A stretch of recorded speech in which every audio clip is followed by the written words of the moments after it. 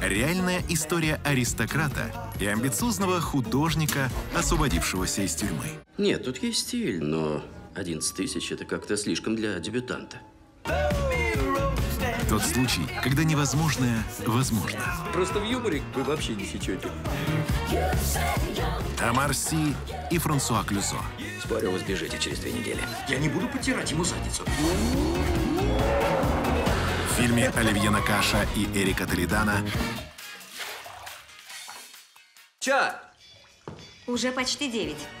«Один плюс один». 3 августа в 22.10 на Еврокино. Ну что смешного?